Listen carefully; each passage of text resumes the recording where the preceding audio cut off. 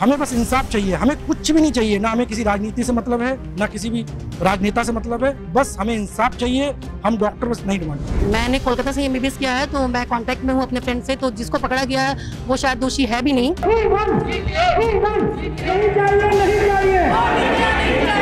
हमें बिल्कुल वहाँ की सरकारों पर वहाँ के कॉलेज एडमिनिस्ट्रेशन पर वहाँ की पुलिस सरकार पर पुलिस पर बिल्कुल विश्वास नहीं है। सीबीआई जाँच होनी चाहिए। सीबीआई जाँच के अलावा और कोई उपाय नहीं है क्योंकि पुलिस जो होती है वो स्टेट गवर्नमेंट के अंडर होती है और स्टेट गवर्नमेंट जो बोलेगी पुलिस वही करेगी। तो हम यहाँ के सारे डॉक्टरों को लगता है कि एक आरोपी नहीं है उसमें और भी आरोपी है जो वहाँ का एडमिनिस्ट्रेशन छुपा रहा है। पश्चिम बंगाल के कोलकाता में जिस तरह से विभत्स घटना मेडिकल कॉलेज के अंदर हुई है उस घटना को लेकर के पूरे देश में डॉक्टर्स के अंदर रोष है।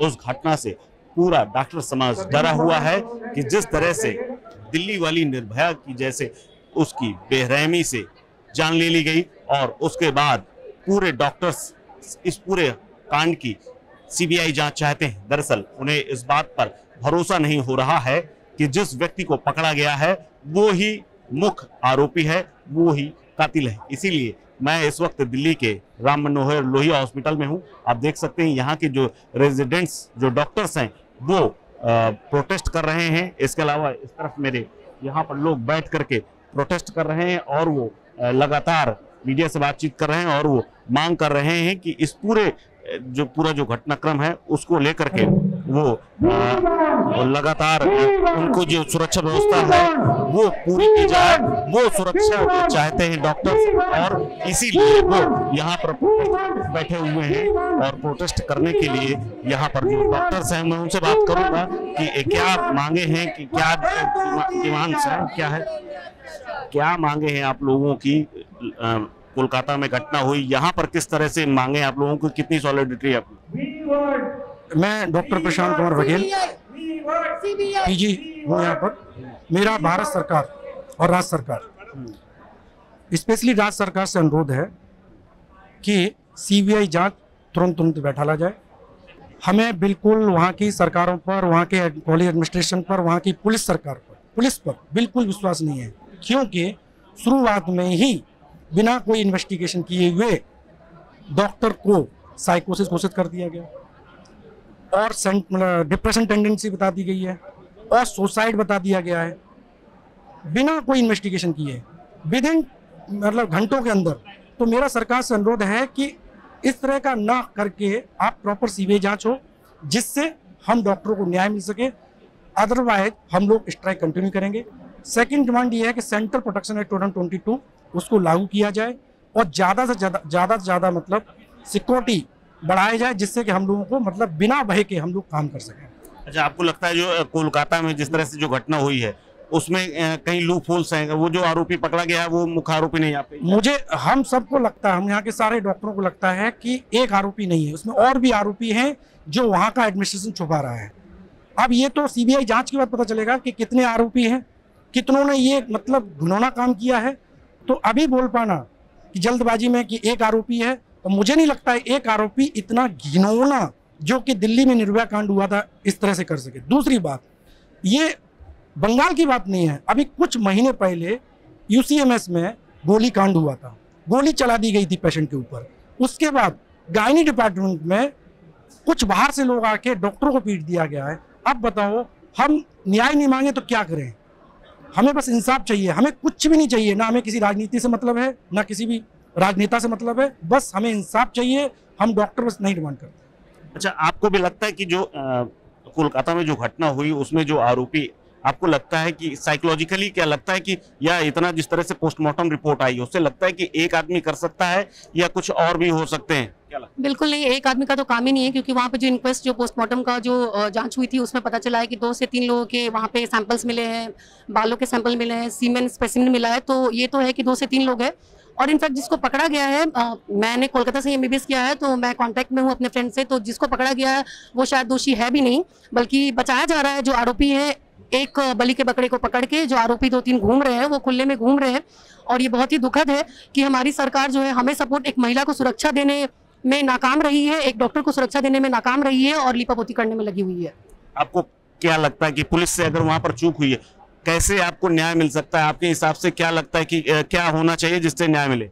सीबीआई जाँच होनी चाहिए। सीबीआई जाँच के अलावा और कोई उपाय नहीं है क्योंकि पुलिस जो होती है वो स्टेट गवर्नमेंट के अंडर होती है और स्टेट गवर्नमेंट जो बोलेगी पुलिस वही करेगी।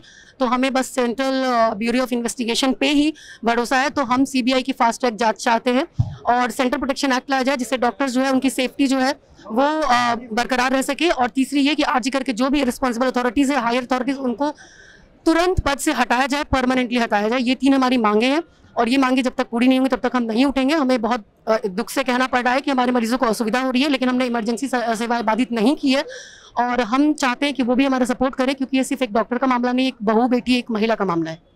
आपको बताऊँ कि राम मनोहर लोहिया में करीब तीस हज़ार से ज़्यादा मरीज़ डेली यहाँ पर इलाज कराते हैं और ये रेजिडेंट्स उनकी भरपूर मदद करते हैं और इनका एक बहुत बड़ा पहलू होता है। अच्छा यहाँ की जो व्यवस्था है, वो कितना प्रभावित हो रही है आप लोगों को? लग रहा है कि यहाँ के जो मरीज़ है, वो परेशान है, क्योंकि केवल इमरजेंसी व्यवस्था चलाने के अलावा भी बहुत सारे एडमिनिस्ट्रेशन एडमिशन से जो होते हैं, वो सारी प्रभावित हैं। आपको क्या लगता है, कोई एडमिनिस्ट्रेशन से यहाँ मिलने आया आपसे? अभी यहाँ पे तो अभी मैंने किसी एडमिनिस्ट्रेशन को नहीं देखा है। अगर आरडीए जो रेसिडेंट ऑफिसर एसोसिएशन के जो प्रेसिडेंट है, उनसे कोई मिला हो तो मुझे नहीं पता है। और हाँ ये है कि ओपीडी और वार्ड में सेवाएँ जो है वो बाधित हैं तो ऑब्वियसली पेशेंट्स को मुश्किलों का सामना करना पड़ रहा है। बट ये सिर्फ़ एक डॉक्टर का मामला नहीं है ना, एक इंसान का मामला है, एक महिला का मामला है तो हम मजबूर है। हमारी मांगे अभी पूरी कर दें, हम अभी उठ जाएँगे। हम नहीं चाहते हैं कि किसी स्वास्थ्य व्यवस्था को इस तरह से हम बाधित करें। लेकिन सरकार अगर सुन नहीं रही तो हम क्या कर सकते हैं? जैसे इमरजेंसी ड्यूटी रहता है, हम लोग का इमरजेंसी रूम में हम लोग जाते हैं। तो लाइक कभी कभी इमरजेंसी के टाइम पे जब लोग ओपीडी बिल्डिंग होता है तो उसी में अकेले अकेले हम लोग कभी काम करते हैं। तो अगर ये जो इंसिडेंट हो गया, ये इंसिडेंट की वजह से हम लोगों का खुद हॉस्पिटल में ही ये हो गया है तो लाइक हॉस्पिटल में ही अगर सेफ्टी नहीं है तो this is a matter of concern तो हम लोगों को वो सेफ्टी चाहिए कि खुद के लोगों से अगर डिफ़िकल्टी और जो भी डरना हम लोगों को हो रहा है तो उसके लिए हम लोगों को, हम लोग इसीलिए आवाज़ उठा रहे हैं कि एटलीस्ट सिक्योर जो हॉस्पिटल में है एटलीस्ट हॉस्पिटल प्रेमाइस में सिक्योरिटी और सिक्योरिटी तगड़ा करना चाहिए वही। यहाँ के जो डॉक्टर्स हैं रेजिडेंट्स हैं, वो सारी अपनी ड्यूटी छोड़ करके वो यहाँ पर बैठे हुए हैं और बैठने के साथ ही आकर के यहाँ पर प्रोटेस्ट कर रहे हैं। वहाँ दिखाओ। और बैठ करके सभी लोग, कोलकाता की जो लड़की थी जिसके साथ वो विभत्स कांड हुआ है, वो कांड वहाँ पर उनके साथ खड़े हुए नज़र आना चाहते हैं। इसीलिए आज पूरे देश में मैं आपको बता दूँ कि चाहे ये आरएमएल राम मनोहर लोहिया हॉस्पिटल की बात नहीं, इसके अलावा एम्स और दिल्ली के जो बड़े बड़े जो डॉक्टर्स हैं बड़े बड़े जो हॉस्पिटल्स हैं, उन सारे हॉस्पिटल्स में लगातार हड़ताल जारी है और हड़ताल के साथ साथ जो कामकाज है, वो बुरी तरह से प्रभावित है। आपको बता दें कि ओपीडी के अलावा किसी भी हॉस्पिटल में कुछ भी फ़िलहाल चल नहीं रहा है और चलने के साथ साथ जो प्रभाव है, वो सिर्फ़ इमरजेंसी भर से नहीं पूरा होता। इसीलिए जो डॉक्टर से जो बाकी एडमिशन हैं, क्योंकि ये रेजिडेंट्स ऐसे डॉक्टर्स हैं, जिनके ऊपर मरीज़ की देख रेख से लेकर के उनके इलाज मलहम पट्टी तक की ज़िम्मेदारी होती है। क्योंकि जो स्पेशलिस्ट होते हैं, वो विज़िट करते हैं, लेकिन जो देख रेख और जो बाकी प्रक्रिया होती है मरीज़ के साथ में, वो यही रेजिडेंट्स पूरी करते हैं, आप देख सकते हैं, लगातार जो नारेबाजी है वो जारी है और यहीं पर इन्होंने अब ये ऐलान कर दिया है एक तरह से कि जब तक ये उनकी मांगे पूरी नहीं होंगी, मुख्य मांग है सुरक्षा डॉक्टर्स की और कोलकाता का जो कांड हुआ है, उसकी सीबीआई जाँच और पूरी तरह से उस जितने भी कातिल हैं उस घटना में, उन सब की गिरफ्तारी की ये लोग मांग कर रहे हैं। फ़िलहाल, राम मनोहर लोहिया हॉस्पिटल से कुलदीप द्विवेदी, वन इंडिया, हिंदी।